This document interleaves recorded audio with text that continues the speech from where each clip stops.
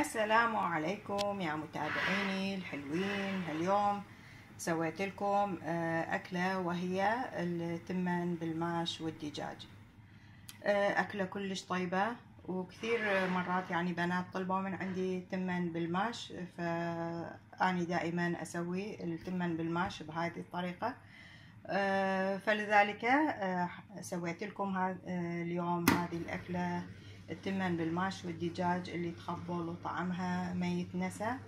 آه، فتعالوا وياي حتى تشوفون المواد المطلوبة وطريقة تحضير هذه الأكلة الرهيبة.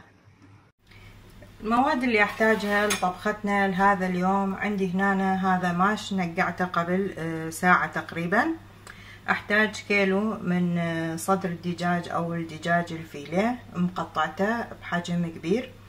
أحتاج هو كل كوب واحد من الماش يقابله كوبين من التمن فأني عندي هنا هذه ثلاث كواب آه، تمن خالة كوب ونص من الماش آه، وأحتاج آه، ملعقتين كبار من اللبن أحتاج تقريبا الطماطة من ثلاثة إلى أربعة طماطة مفرومة. فعندي معلب جاهز ليش أدوخ نفسي؟ طلعت المعلب. أحتاج بصل عدد واحد. أحتاج ثوم عدد اثنين ورق الغار آه، ملعقة صغيرة من الفلفل الأسود ملعقة صغيرة من الكركم ملعقة صغيرة من الزنجبيل. أول شي راح أخلي هذا الماش آه، أصفيه من المي وأخليه مي نظيف وأخليه على النار وأسلقه. أقطع البصل كله جوانح وأخليه على النار أقليه وأضيف له باقي البهارات والمواد. إلى أن ما يستوي الماش. راح أحضر الدجاج بعدها مثل ما تشوفون خليت الماش على النار. بدأ يستوي. خليت زيت هنا بهذا القدر الثاني. خلي بصل أقليه.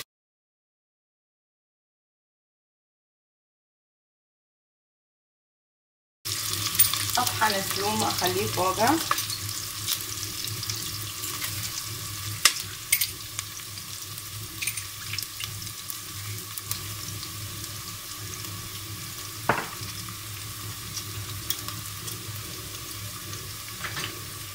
اخلطهم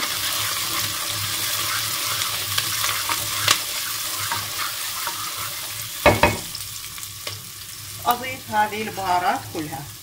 قلنا ملعقة صغيرة من الزنجبيل ملعقة صغيرة من الفلفل الأسود ملعقة صغيرة من الكركم وورق الغار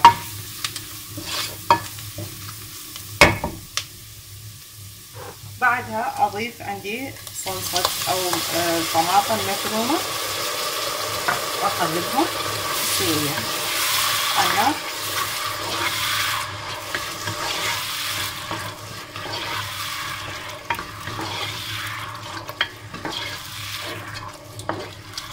وأغطي القدر وأترك الطماطة شوية تستوي وأرجع لكم. بعد ما استوت شوية الطماطة. شوفوا. ما صارت؟ راح أضيف ملعقتين كبار من اللبن. واخلطهم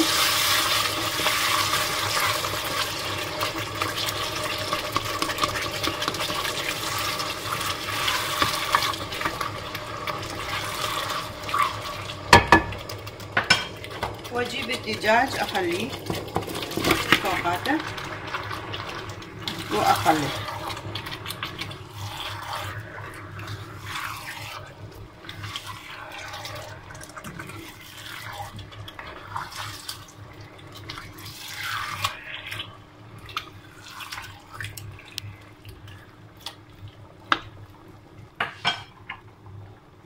واغطي القدر وأترك آه هذا الدجاج إلى أن ما يستوي وأرجع لكم.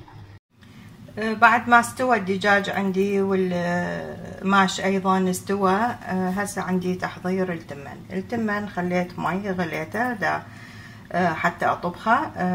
عندي هنا هذا. اثنين ورقة غار أحتاج وأحتاج هيل وملح واحتاج عندي هنا هذا الزعفران الجاهز مي الزعفران هذا للزينة أخليه آخر شي هسه راح أخلي التمن وأسلقه. عندنا هنا هذا مي التمن راح اخلي له شوية قام يفور يغلي خلي له ملح.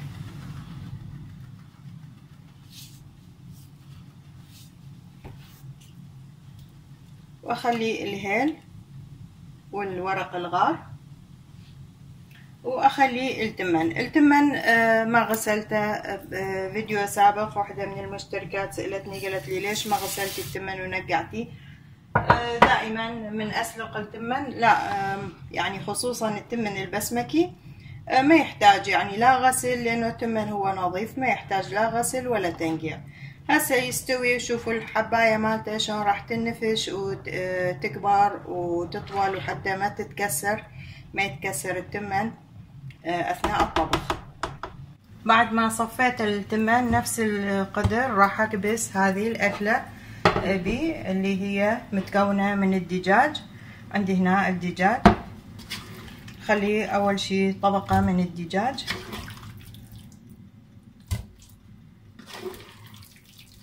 بالقعر.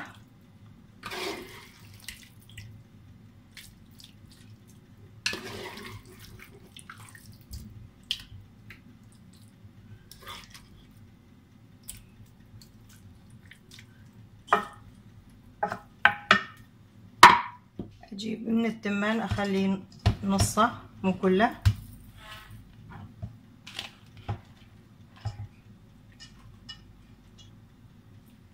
وأخذ من الماش أيضا اخلي فوق التمن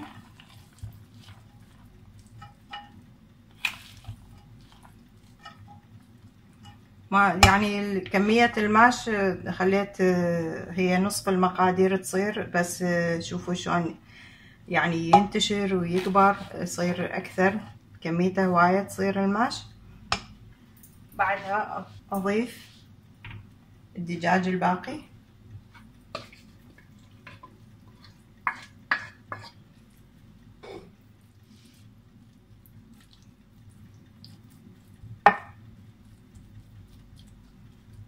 وأضيف التمان كله.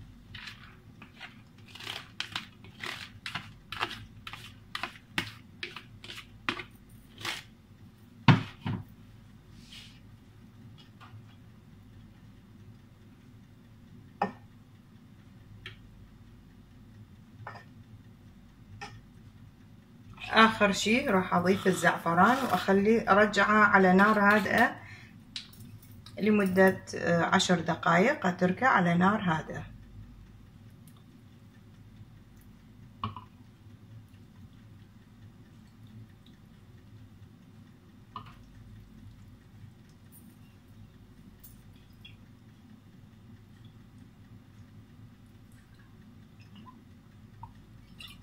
خليه اغطيه واخليه على نار هادئة وارجع لكم.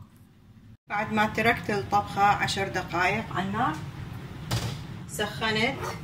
عندي هنا هذا الزيت سخنته على النار راح اجيبه على الجمن بعدها راح أخليه قطعة قماش. تحت الغطا وأتركها عشر دقايق اللخة وأرجع لكم.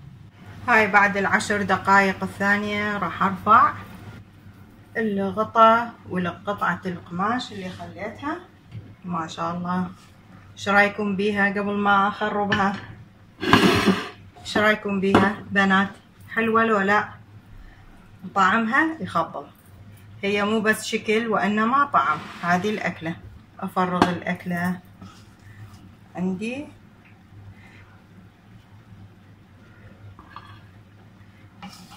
صحن التقديم وأقدمه.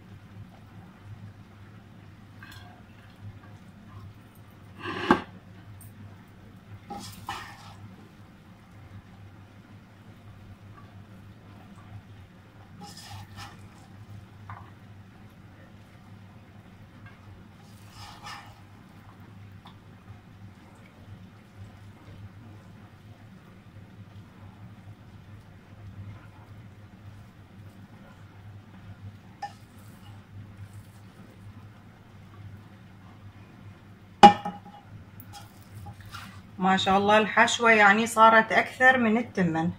دا أريد التمن دا أخليه على الوجه ما دا يطلع عندي.